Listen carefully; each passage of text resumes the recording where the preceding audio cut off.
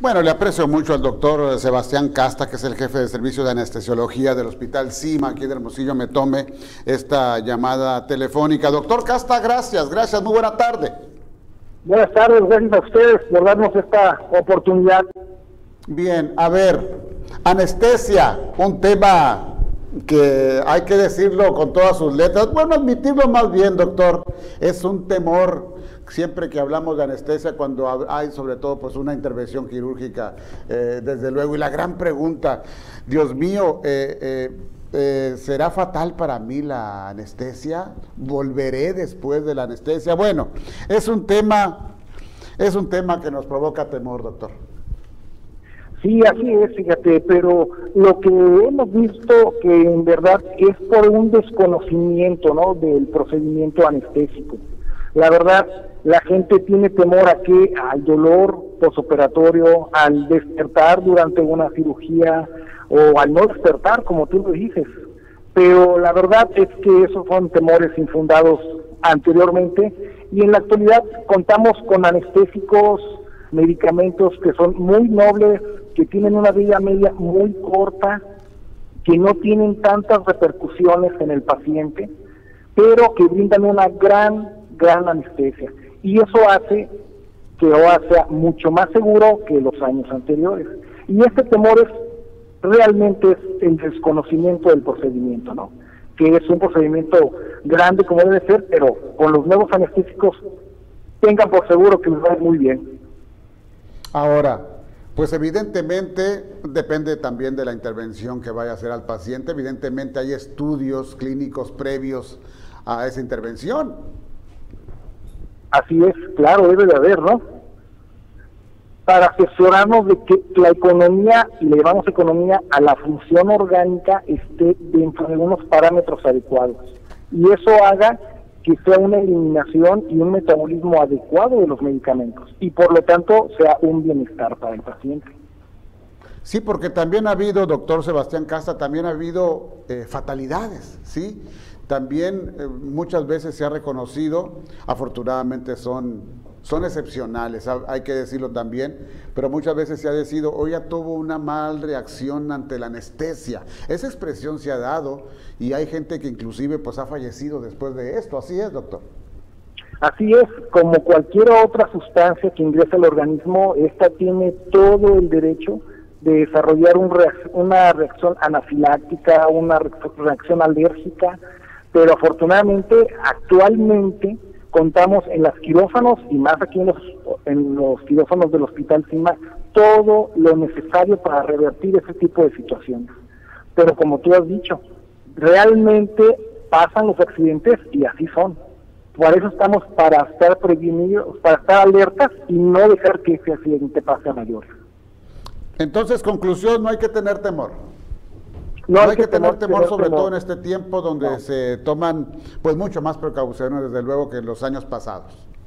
Claro, eso es lo principal. Tenemos más precauciones y tenemos mejores medicamentos. Eso es lo importante. Bien, ahora hay distintos tipos de anestesia, doctor, es decir, depende de la intervención que se vaya a hacer. Platíquenos sobre esto, por favor. Muy importante, fíjate esto que lo mencionas, porque a mí en mi experiencia personal me ha tocado personas que les van a operar un dedo y me van a decir, doctor, ¿me va a dormir para toda la cirugía? Y digo, no, no, no, es más riesgo darte una anestesia general para que para lo que te va a hacer el doctor, el cirujano. Entonces, afortunadamente y con el atendimiento de la tecnología, podemos ya dar anestesias muy, muy localizadas, ¿no? Si a la paciente o, a la, o, a la, o, al, o al paciente se le va a operar de una prótesis de rodilla, de la pierna derecha, contamos con medicamentos y con la tecnología para dormir nada más o anestesiar la pierna derecha. Si lo van a operar nada más del codo, le podemos anestesiar prácticamente nada más lo que es el miembro superior. Y el paciente está consciente, puede estar platicando con nosotros o lo, o lo sedamos para que esté tranquilo y no esté escuchando todo el procedimiento quirúrgico. La ventaja de esto es utilizar menos posibles los medicamentos para tener menos riesgos de reacción, es lo que se está utilizando. Ahora hablando eh, de enfermedades, Eh, ¿Cuáles son las enfermedades que habría que considerar para aplicar una anestesia en una intervención, doctor Castro? Mira, muy importante este punto que lo tocas. La enfermedad, por más mínima que le parezca al paciente, es muy importante para nosotros. ¿no? Por nuestra región y nuestro lugar de la República Mexicana, lo que más vemos nosotros es la hipertensión, lo que es la presión arterial alta, la diabetes mellitus, los problemas de colesterol, es increíble, muy alto el porcentaje de problemas de colesterol y también los problemas de tiroides. Y todos estos, eh, todos estos padecimientos son muy importantes para una situación de anestesia, porque repercuten prácticamente en toda la economía orgánica. la hipertensión, la gente piensa, ah, es solo en mi corazón, no. La hipertensión daña el cerebro, daña los riñones, daña el hígado, la diabetes Daña todo, caramba. Daña todo y la diabetes es igual o peor, ¿no? Entonces, muy importante, y esto sí le digo a la audiencia, por lo más mínimo que tengan un padecimiento, comentenle a su anestesiólogo si los van a, a, someter a un procedimiento. Doctor, padezco de tal situación, estoy controlado con tal situación, con tal medicamento y llevo un buen control. Ah, perfecto. Y eso a nosotros y a ustedes les va a dar más tranquilidad porque ya sabemos nosotros cómo manejar. Bien, doctor, estoy hablando con el doctor Sebastián Casta, es el jefe de servicio de anestesiología del Hospital CIMA aquí de Hermosillo. A ver, yo he tenido eh, un par de intervenciones quirúrgicas y ahí está siempre, ha estado el, o estuvo siempre el anestesiólogo ahí a un lado. ¿Qué, qué, qué vigila?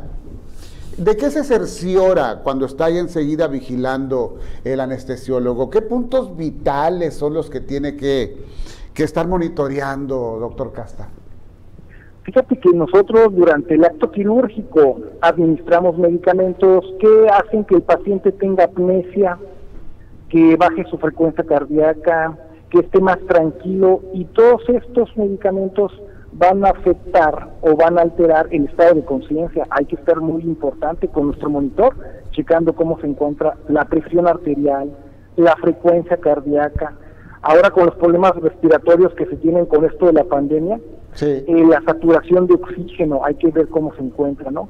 Sí. Si durante el procedimiento anestésico, yo creo que aproximadamente entre el 80 y el 90% de nuestra actitud es estar observando y analizando el monitor, porque él nos va a decir si requerimos más, requerimos menos, si el paciente está por presentar algún problema o si está estable y no ocupa prácticamente más que estarlo observando y que siga bajo el influjo de los medicamentos. Ahí en el hospital contamos con muy buenos monitores y le sacamos provecho al máximo, te lo puedo aprovechar, te lo puedo comentar. Bueno, también tengo que añadir eh, que son de alguna manera motivadores también. Una de mis intervenciones fue en un tobillo y este, la anestesia fue local, una parte nada más pues del cuerpo. Y yo recuerdo al anestesiólogo que me, que me empezó a platicar y hasta contar charras y tratar de calmarme y vamos muy bien, Francisco, etcétera, etcétera. Entonces, también es un, es, un motivador, doctor. Así es, hay que darle, lo principal que hay que darle es al paciente tranquilidad para que él pueda tener un procedimiento quirúrgico sin ningún inconveniente y que tenga una mejor recuperación. Ahora, no cualquiera, no cualquier médico eh, es anestesiólogo. Alguien puede decir, yo quiero ser anestesiólogo. No, tiene que haber una preparación especial. ¿Cómo es esto? Fíjate que como todos tenemos que cursar la carrera de medicina, posteriormente hacer el examen para la especialidad ¿Sí? y ahí empiezas. Hoy son aproximadamente, son tres años de la especialidad, ¿no? Tres años para especializarse de anestesiólogo. Tres años para especializarte de anestesiólogo nada más, pero previos ya estudiaste los seis o los siete años de medicina. Bien. Ahora, en un caso particular, por ejemplo, yo tengo la subespecialidad de anestesiología cardiovascular, es otro año extra enfocado prácticamente en todo el sistema cardíaco. Entonces, es otro año más. Si le sacas cuentas, te vas a llevar aproximadamente 11 a 12 años estudiando para ser anestesiólogo. Entonces, tú, ya sabes que en todo ese tiempo, pues todos los conocimientos, que el principal objetivo es aplicarlos en tu paciente y que el paciente esté estable y que no tenga ningún problema, eso es. pues es una especialización, vaya, y, y, vaya la responsabilidad que tiene el anestesiólogo, sobre todo una intervención quirúrgica, qué clase también de responsabilidad, ¿no? Seguramente para los, eh, para los novatos aquello también debe ser algo tenso. Eh, ¿Usted recuerda en sus inicios, doctor? Sí, exacto, sí, sí me acuerdo bastante muy bien y gracias a Dios tenía buenos maestros y que nos guiaron por buen camino, ¿no? Y afortunadamente nos llegamos hasta donde vamos ahorita. Bien. Doctor Sebastián Casta, algo que desee subrayar usted, por favor.